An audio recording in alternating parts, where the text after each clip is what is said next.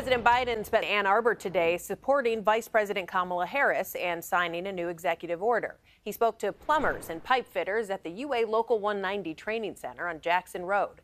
His visit ended with the signing of the Good Jobs Executive Order. The president says it will strengthen wages, increase workplace safety, and create fair opportunities to join a union. My executive order, though, promotes federal policies to raise wages beyond construction, all across the manufacturing sector because manufacturing is booming.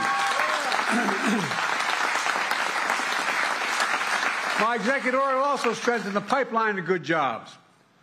It'll promote policies to create more registered apprenticeships, pre-apprenticeships, and other job training programs that don't require a college degree, that put young people on a pathway to getting the skills for good-paying union jobs.